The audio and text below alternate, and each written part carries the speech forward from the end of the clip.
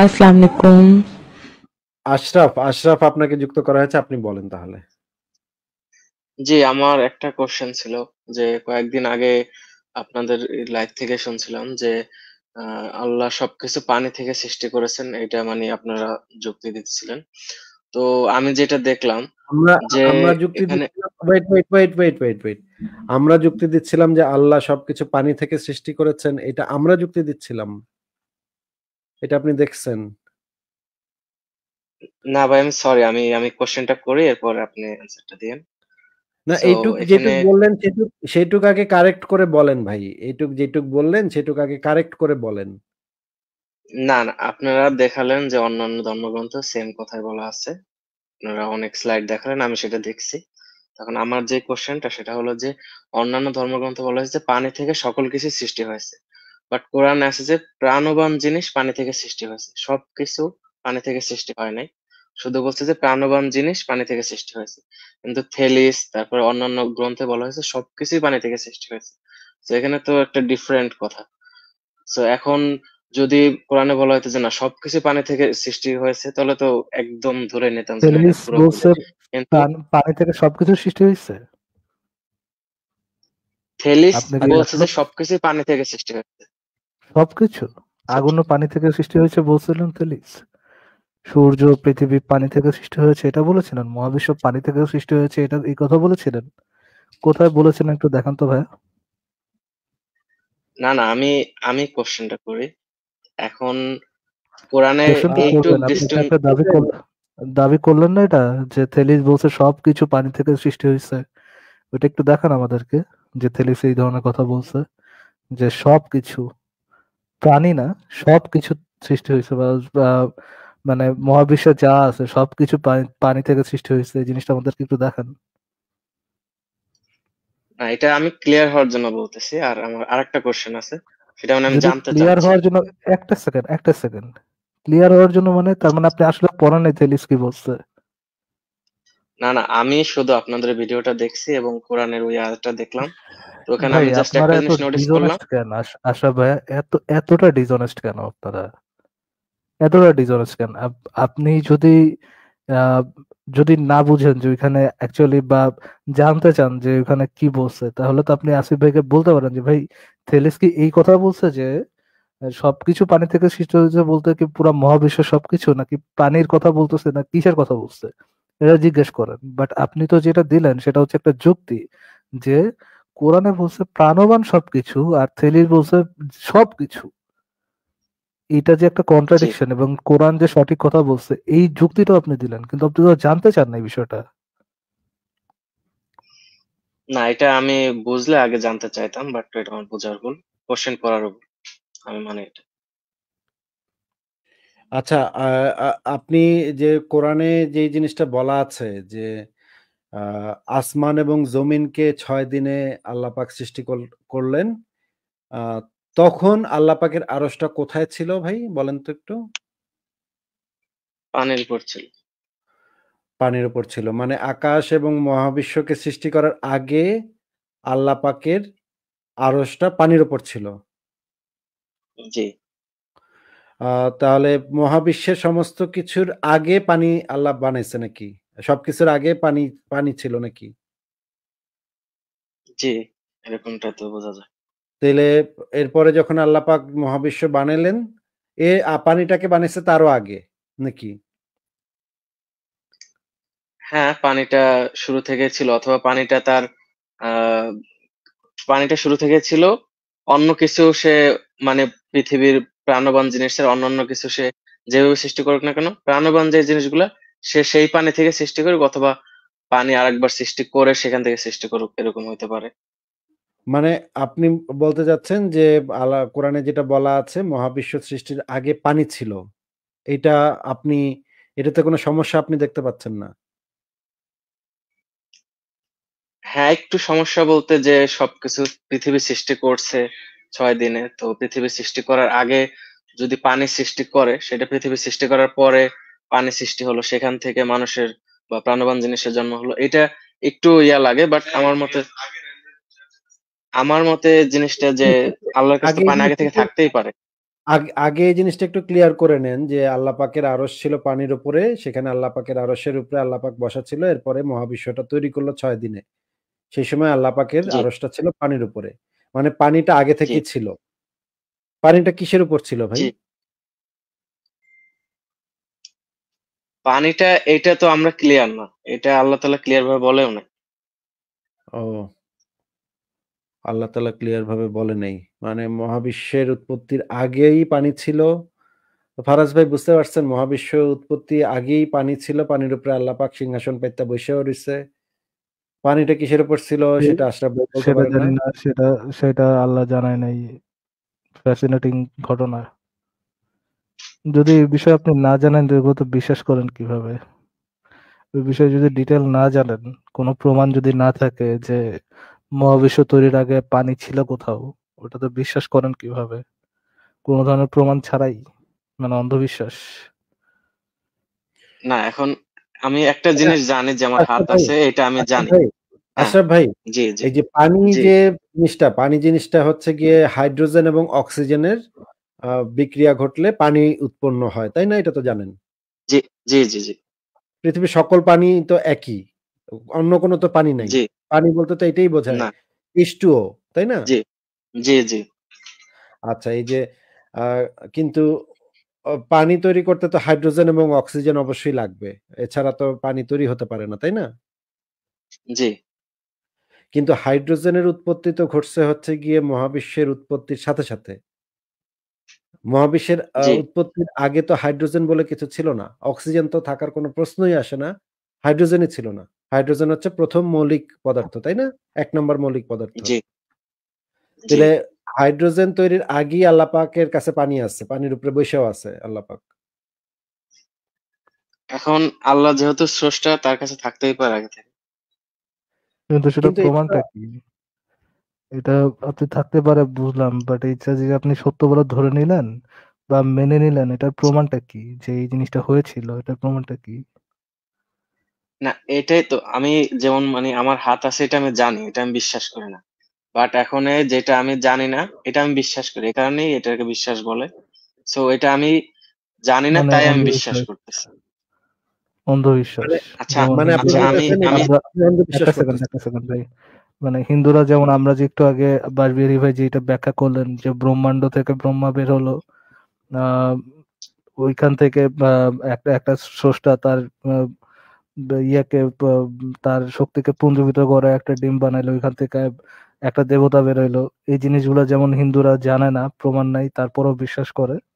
ঠিক তেমনি আপনিও আল্লাহ মহাবিশ্ব তৈরির আগে কোন একটা আরসের উপর বসেছিল, তার নিচে পানি ছিল, পানি কিসের নিচে ছিল জানেন না। এই জিনিসগুলোর কোনো প্রমাণ নাই বাট আপনি হিন্দু, হিন্দুরাও যেমন অন্ধবিশ্বাস করে, আপনিও ঠিক তেমনি তাদের মতো অন্ধবিশ্বাস করেন। যে আমি বিশ্বাস করি। বাট আমার কিছু কনফিউশন আছে এটা আমি অন্ধবিশ্বাস। যে এটা আপনাদের কাছে আমাদের কাছে মানে যে আমি বিশ্বাস আপনাদের কাছে এটা অন্ধবিশ্বাস হিন্দুদের বিশ্বাসটা কি অন্ধবিশ্বাস নাকি সঠিক মানে অন্ধবিশ্বাস নাকি বিশ্বাস? এখন তাদের পার্সপেক্টিভ আলাদা হিসেবে এখন আমি যদি তাদের পার্সপেক্টিভে চিন্তা করি কোন কোন বিশ্বাস কি বিশ্বাস বা অন্ধবিশ্বাস এটা কি পার্সপেক্টিভের উপর ডিপেন্ড করে নাকি প্রমাণের উপর ডিপেন্ড করে? অবভিয়াসলি এখন যদি আল্লাহ তাআলা যদি ক্লিয়ারলি আমাদের সামনে চলে আসে প্রমাণের উপর ডিপেন্ড করে অন্ধবিশ্বাস ডোড অন্ধবিশ্বাস কোনটা অন্ধবিশ্বাস আর বিশ্বাস এটা কি পার্সপেক্টিভের উপর ডিপেন্ড করে নাকি প্রমাণের উপর ডিপেন্ড করে? প্রমাণের উপরই ডিপেন্ড করে। প্রমাণের উপর ডিপেন্ড যদি প্রমাণের উপর ডিপেন্ড করে থাকে তাহলে আপনার যে বিশ্বাসগুলা যেটা প্রমাণ নাই তাহলে কি এটা বিশ্বাস নাকি অন্ধবিশ্বাস? এটা আমার কাছে বিশ্বাস। আমি বিশ্বাস হিসেবে ধরে নিয়েছি অন্ধবিশ্বাস ধরে নি আপনি কি ভাই আপনি কি আগাগোড়া ব্যাককল আশরাফ ভাইয়া আপনি কি মানে সিরিয়াস মাথায় সমস্যা ছোটবেলায় পড়ে গেছিলেন? মানে ফ্লোরে পড়ে গেছিলেন? কোল থেকে পড়ে গেছিলেন না না? না না আমি বলি ভাই যদি নানা নানা বলতেছেন একটু আগে আপনি নিজে বলতেছেন আপনি নিজে বলছেন যে কোন জিনিসটা বিশ্বাস বা অন্ধবিশ্বাস এটা ডিপেন্ড করে প্রমাণের উপরে। যখন আমি আপনারটা জিজ্ঞেস করছি যে আপনি যে বিশ্বাসগুলা করছেন সেই বিশ্বাসগুলোর প্রমাণ নাই তারপর আপনি বিশ্বাস করছেন এটা কি বিশ- এটা কি আপনার বিশ্বাস না অন্ধবিশ্বাস? সেখানে আপনি প্রমাণের কথা না বলে বলছেন যে আপনার পার্সপেক্টিভ থেকে। না না এরকম। হতাহত কেন করতেছেন? এখন কোরআনে যে সাইন্টিফিক ইয়াগুলো আছে অথবা মোরাল যে আবার সাইন্টিফিক বিষয়ে কেন যেতেছেন? এইটা আগে শেষ করেন। ভাই আপনি তো যদি চান আশরাফ ভাই যে আপনি সেকেন্ডে সেকেন্ডে টপিক পাল্টাবেন আর আমি আপনার সাথে ওই টপিকে টপিকে ঘুরবো না no no no no no that's not gonna happen একটা টপিক শেষ করে হ্যাঁ। দেন আমরা অন্য টপিকে যাব। আপনি হ্যাঁ। নিজে বললেন নিজে বললেন যে কোনো কিছু প্রমাণ না বা কোনো কিছু বিশ্বাস না অন্ধবিশ্বাস এটা ডিপেন্ড করে প্রমাণের উপরে। পার্সপেক্টিভের উপর না প্রমাণের উপর ডিপেন্ড করে। তাহলে জি। আপনার যেই বিশ্বাসগুলো আছে যেটার প্রমাণ নাই তাহলে সেটা কি বিশ্বাস না অন্ধবিশ্বাস? আমি আপনাকে শেষবারের মতো সুযোগ দিচ্ছি। আমি যদি দেখি আপনি কর্পোরেট করতেছেন না বা আপনি যদি মানে একটু পাশ কাটানোর চেষ্টা করেন ভাতাবাজি করার চেষ্টা করেন তাহলে আপনার সাথে কনভারসেশন সামনে আগাবো না। আমি যদি অনেস্টের সাথে কথা বলেন তাহলে অবশ্যই সামনে আগাবো। আপনার যে বিশ্বাসগুলোর পিছনে কোনো প্রমাণ নাই, সেটা কি বিশ্বাস নাকি অন্ধবিশ্বাস? হ্যাঁ এটা হলো যে কোরআনে যাই আছে এইটা আমরা যেভাবে দেখতেছি, আমার কাছে তো মানে আমাদের কাছে প্রমাণ আছে, আমরা এটা মানি, এইভাবে আমরা চিন্তা করছি, এই কারণে এটা আমার কাছে ইয়া মানে এটাই আমার কাছে বিশ্বাস। এখন জিনিসটা আপনাদের কাছে ভুল, তাই আপনারা এটা আপনাদের পার্সপেক্টিভ অন্ধবিশ্বাস। বাট আমরা এটা মানি, এটা আমাদের দৃষ্টিভঙ্গিতে এটা কারেক্ট তাই আমি এটা ছোটবেলায় বিশ্বাস বলতেছি ছোটবেলায় আসলে ছোটবেলায় পড়ে গেছিলেন না? কোল থেকে পড়ে গেছিলেন? একটু আগে আচ্ছা, একটু আগে আশরাফ নামের ভাই একটা সেকেন্ড একটু আগে উনি উনি স্বীকার করছে যে উনার যে বিশ্বাসটা যে আল্লাহ পৃথিবী তৈরি করার আগে কোন একটা আরশের উপর বসে আছে তার নিচে পানি আছে তার নিচে কি সেগুলা সে জানে না এগুলা তার প্রমাণ নাই। এই জিনিসগুলা একটু আগে আশরাফই স্বীকার করছিল না আসিফ ভাই? হ্যাঁ উনি তো ওনাকে আমি একটা প্রশ্ন করতে চাই নিজে বলছেন যে প্রমাণ নাই। আসিফ আমি পয়েন্ট একটু মেক করি। উনি নিজে বলছে যে প্রমাণ নাই। প্রমাণ ছাড়া সে বিশ্বাস করে। আবার যখন তাকে দেখাই দিলাম যে প্রমাণ ছাড়া বিশ্বাসটা হচ্ছে অন্ধবিশ্বাস এখন সে বলতেছে তার কাছে প্রমাণ আছে। আমি আপনারা দশ সেকেন্ড সময় দিই আশা ভাই। আপনার উপর আসিফ সাথে কথা বলেন। আপনি প্রমাণটা কি? প্রমাণ নট আপনার বিশ্বাস। আল্লাহ যে বিশ্বাস, আল্লাহ যে মহাবিশ্ব তৈরির আগে কোন একটা আরশের উপর বসেছিলেন তার নিচে পানি ছিল।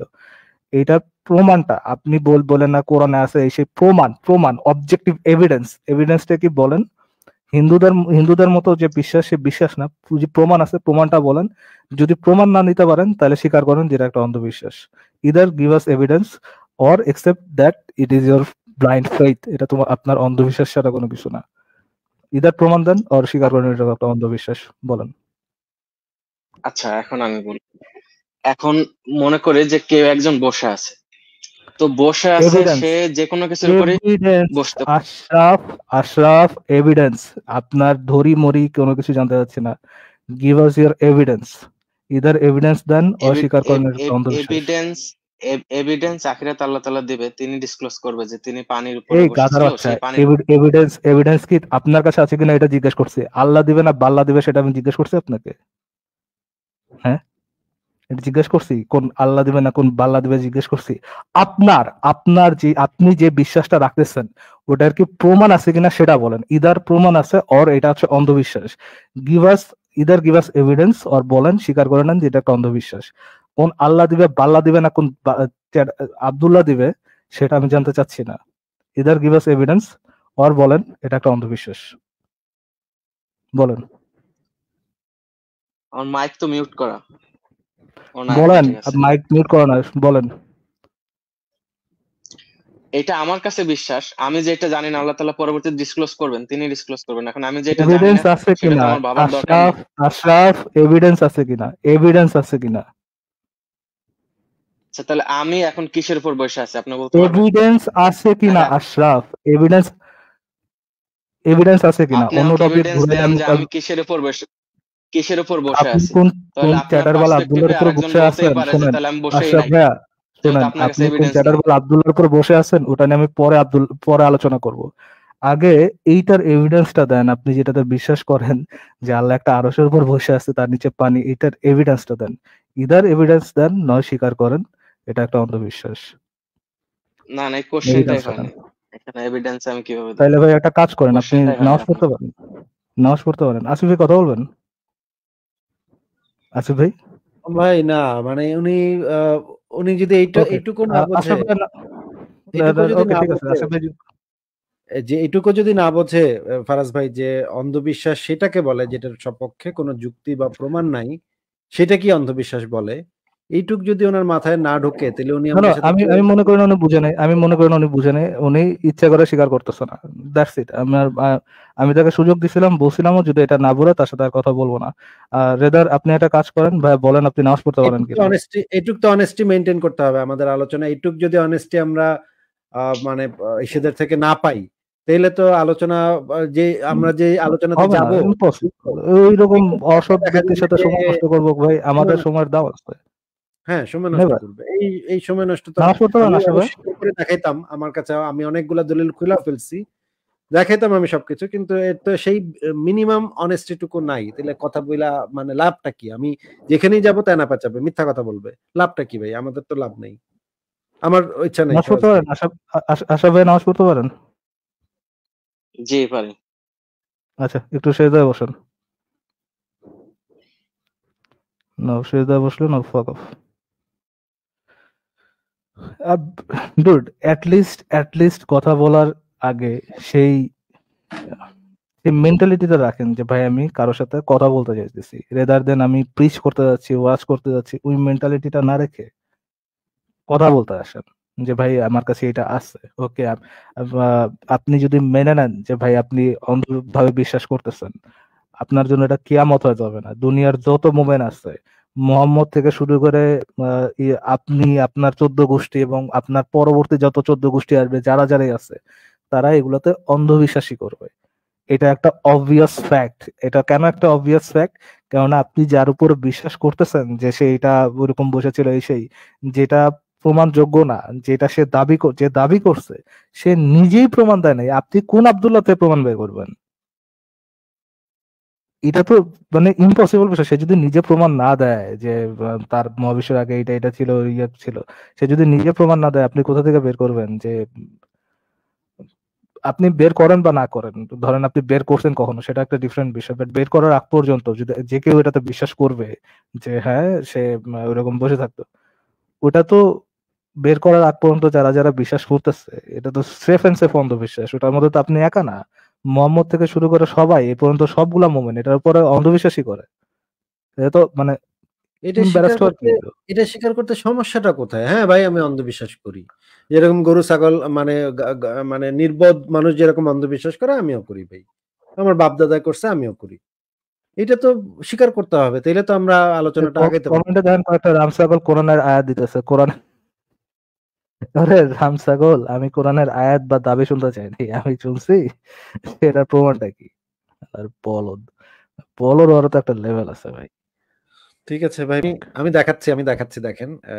মহাভারতে যে যেটা লেখা আছে, মহাভারতের আ শান্তিপ পর্ব অষ্টাধিক দ্বিশততম অধ্যায় প্রজাপতি বিবরণ সৃষ্টি বিস্তার। এখানে বলা আছে, প্রথমে কেবল একমাত্র সনাতন ভগবান ব্রহ্মা বিদ্যমান ছিলেন। অনন্তর তাহার মরীচি, অত্রি, অঙ্গিরা, পুলস্ত, পুলহ, ক্রতু, বশিষ্ঠ এই ৭ অ অগ্নিতুল্য পুত্রের উৎপত্তি হয়। মানে তার সাতটা পুত্র হয়, হ্যাঁ? এরপরে কি হয়? সমগ্র বিশ্ব এক ঘোরতর অন্ধকারে নিমজ্জিত ছিল। পরম ব্রহ্ম নিজ তেজে সেই অন্ধকার দূর করে জল সৃষ্টি করলেন। সেই জলে সৃষ্টির বীজ নিক্ষেপ করলে একটি অতিকায় সুবর্ণ অণ্ড বা ডিম সৃষ্টি হয়। সেই অন্ডের মধ্যে পরম ব্রহ্ম স্বয়ং প্রবেশ করেন। এরপর অণ্ড দুই ভাগে বিভক্ত হয়। এর এক ভাগ দ্বারা আকাশ ও অপর ভাগ দ্বারা ভূমণ্ডল তৈরি হয়। এরপর ব্রহ্মা মন থেকে ১০ জন প্রজাপতি সৃষ্টি এই প্রজাপতি মানে হচ্ছে যারা প্রতিপালন করবে, হ্যাঁ? প্রজাপতি সৃষ্টি করেন। এই প্রজাপতিরাই মানবজাতির আদি পিতা। এই ১০ জন প্রজাপতি হলেন অঙ্গিরা, অত্রি, ক্রতু, দক্ষ, নারদ, পুলস্ত, পুলহ, বশিষ্ঠ, ভৃগু ও মরিচি ব্রহ্মার আদেশে এরা বিভিন্ন প্রাণী সৃষ্টি করলেন। বাকি একজন অর্থাৎ নারদকে সৃষ্টি রক্ষার ভার দিলেন। কিন্তু ব্রহ্ম সাধনায় বিঘ্ন হবে বলে নারদ সে ভার গ্রহণ করলেন না। এ কারণে ব্রহ্মা তাকে মানুষ ও গন্ধর্ব রূপে জন্মগ্রহণ করার অভিশাপ দিলেন। মানে এই নারদ হচ্ছে আবার মানুষ এবং গন্ধর্ব রূপে জন্মগ্রহণ করছিলেন। নারদ মুনি আরকি। নারদ মুনির কথা এখানে বলা হচ্ছে। তো এই হচ্ছে বিশ্ব ব্রহ্মাণ্ড সৃষ্টির হিন্দু শাস্ত্রে কাহিনী। বুঝলেন?